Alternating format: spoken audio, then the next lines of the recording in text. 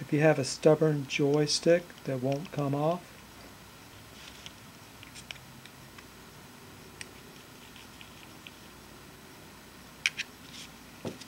one way to get it off is get your hammer, claw hammer, put it underneath it,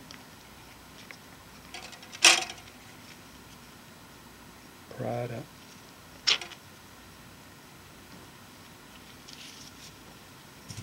If it was hard coming off, it's going to be hard putting back on. So you're going to need to file it. Get your needle file set. Get the half moon file. File those edges down.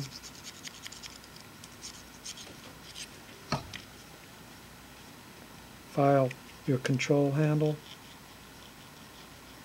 Getting any burrs off of it. If you happen to replace the old style control handle that has a flat surface with the new style that has a pinhole, be sure to get the correct screw.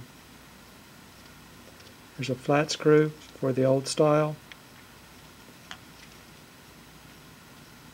cone point for the new style.